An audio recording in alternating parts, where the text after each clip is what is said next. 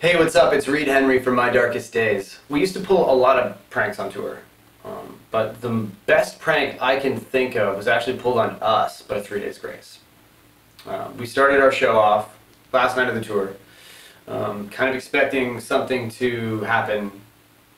Um, always sort of looking over your shoulder on the last night of the tour. We got about three or four songs in and nothing had happened, so we started to let our guards down everybody kind of just felt like, okay, maybe this is just a, you know business as usual. Our guitar player goes center stage, starts to play his guitar solo, and um, the worst guitar solo ever happened.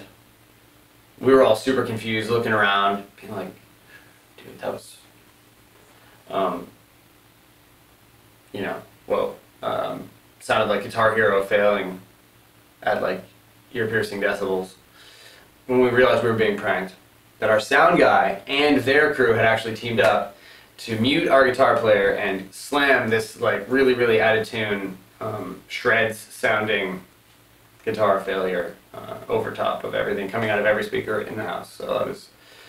But what really takes that prank over the edge is uh, while that was happening, someone in a cape and a Halloween costume was behind our drummer with a fishing pole, uh, screaming, "Dougie like sausage!" into a microphone, hitting him in the face with a fishing rod um, that had a sausage attached. So, pure chaos.